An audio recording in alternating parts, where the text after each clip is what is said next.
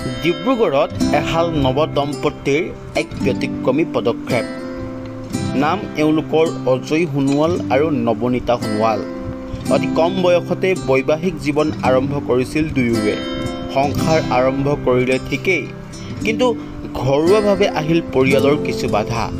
সংসাৰ চলাবলৈ উপায়ন্তৰ হৈ নৱদম্পতী অজয় সোণোৱাল আৰু নৱনীতা সোণোৱালে বাছি লৈছে অন্য বহুজনে বাছি নোলোৱা এক পথ। ডিব্ৰুগড়ৰ নিগম পাঁচআলিত দুয়োৱে একেলগে আৰম্ভ কৰিছে এল ই ডি বাল্ব আৰু চেণ্ডেলৰ এক ব্যৱসায়।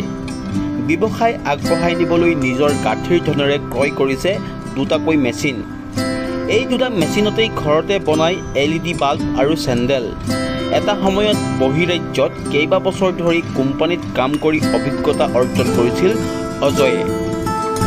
সেই কোম্পানীত কাম কৰা অজয় কিন্তু কোম্পানীৰ পৰা পোৱা টকাৰে নচলে সংসাৰ। সেয়ে ঘৰতে থাকি নিজাকৈ কিবা এটা কৰিবলৈ বাছি ল'লে এই পথ। বহিৰাজ্যত প্ৰায় পাঁচ বছৰ ধৰি এল ই ডি বাল্ব আৰু চেণ্ডেল বনোৱাৰ প্ৰশিক্ষণ লৈছিল অজয়ে। এই প্ৰশিক্ষণ সমাপ্ত কৰিয়ে স্বগৃহলৈ উভতি আহি আত্মনিৰ্ভৰশীল হোৱাৰ প্ৰয়াস চলাইছে অজয়ে। স্বনিৰ্ভৰশীল হোৱাৰ এই সংগ্ৰামত অজয়ক হাত উজান দিছে পত্নী নৱনীতাই পত্নী নৱনীতা সোণোৱালৰ সৈতে মিলি এই আত্মসংস্থাপনৰ যুঁজত নামি পৰিছে অজয় আৰু তেওঁৰ পত্নীয়ে। ডিব্ৰুগড়ৰ চৰাইহাবি গাঁৱৰ অজয় নৱনীতাৰ এই পদক্ষেপে এতিয়া সৰ্বত্ৰে চৰ্চিত হৈছে।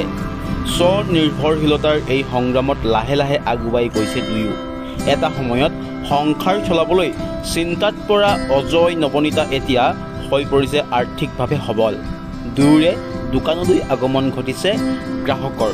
দুয়োৱে প্ৰস্তুত কৰা সামগ্ৰীয়ে সমাদৰ লাভ কৰিবলৈ সক্ষম হৈছে ডিব্ৰুগড়ত।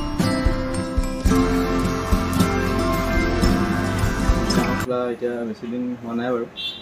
এক তাৰিখৰ পৰা অ'পেনিং কৰিছোঁ। মোৰ ইয়াতে চেণ্ডেল আৰু light L E D light আৰু পুৰণা লাইটো এইবিলাক ৰিপেয়াৰিং হৈ যায়। ইয়াতে এতিয়া মই কাম কৰি আছোঁ আৰু এতিয়া বৰ্তমান। চেণ্ডেল মানে কেনেকুৱা ধৰণৰ চেণ্ডেল চেণ্ডেল আপোনাৰ হাৱাই চপ্পল পাব। ভাল ভাল চপ্পল হয়।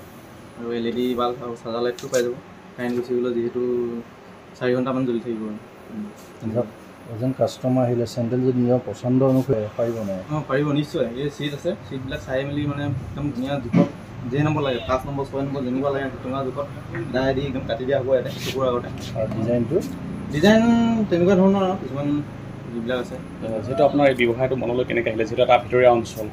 মই যিহেতু বাহিৰত আছিলোঁ কোম্পানীৰ ঘৰৰ যি পৰিস্থিতি মানে অৱস্থা হেৰি কাৰণে বাহিৰৰ কোম্পানীবিলাকত কাম কৰি আছিলোঁ। দেখিছোঁ বাহিৰত মানে এইবিলাক কাম লাইট আৰু চেণ্ডেল এইবিলাক কোম্পানীবিলাকে বনাই থকা। সেয়া দেখি কিনে মোৰ মনত আহিল যে ঘৰতে মই বহিচোন এইবিলাক কাম কৰিব পাৰোঁ। ইমান দূৰতনো কেলৈ যাব লাগে? সেইকাৰণে আহি মই এইটো কাম আৰম্ভ কৰিলোঁ আৰু। যিহেতু আপোনাৰ দোকানত আৰু ভৱিষ্যতে কেনেকুৱা ধৰণৰ চিন্তা চৰ্চা কৰিছে? তাকে চিন্তা কৰিছোঁ আৰু কিবা যদি চৰকাৰৰ ফালৰ পৰা যদি কিবা সহযোগ পাওঁ তাই মানে দোকানখন অলপ ডাঙৰ কৰিম বুলি ভাবিছোঁ। লগতে যদি ভাল ধৰণৰ কিবা সহায় পাওঁ আৰু দুই তিনিজনমান মানুহ ইয়াতে সস্তামত দিব পাৰিম বুলি মোৰ মনত মানে বিশ্বাস আছে। অকণমান। ৰেটো বহুত কম। মোৰ ইয়াত মানে চিন্তা কোনো হেৰি কৰিব চকুমুটি লৈ যাব পাৰে আৰু। আপোনাৰ পত্নীৰ সহযোগিতা অঁ পত্নী সহযোগিতা দুয়োটাই আমি দুটাই লাগি মানে আৰু আছে মানুহ। বিশেষ এটা কথা ক'ব লাগে যে তেনেকুৱা ধৰণৰ চিন্তা চৰ্চা কৰা হৈছিলে নেকি যে এনেকুৱা ধৰণৰ কৰিম বুলি? পত্নীয়েও যিহেতু কাপোৰ কানি চিলোৱা কৰা চিলাই মেচিনত। অঁ নাই তেনেকৈ ভবা নাই। বৰ্তমান দুয়োটাই এতিয়া বিয়া পতাৰ পাছত আৰু কিবা এটাতো কৰিবই লাগিব ন। তাকে ভাবি মানে এইটোকে খুলিলোঁ আৰু। নমস্কাৰ মোৰ নাম শ্ৰীমতী নৱনীতা সোণোৱাল। মই স্বামীৰ লগতে এনেকৈ লাগি আছোঁ আৰু। সহায় সহযোগ কৰি লগতে মই কাপোৰ চিলাওঁ। মানে ইয়াতো এতিয়া দোকান খোলা বেছি দিন হোৱা নাই দহদিনমান হৈছে। মানে তাতকৈ আগৰ পৰা বেছি দিন হোৱা নাই আৰু মানে এনেকৈ হেৰি কৰিম বুলি ভবা ৰাজ্যলৈ আহ্বান জনাব বিচাৰিব নেকি? হয় মানে কিবা যদি সহায় পাওঁ মানে তেতিয়াহ'লে আৰু আগবঢ়াই নিব পাৰিম আৰু।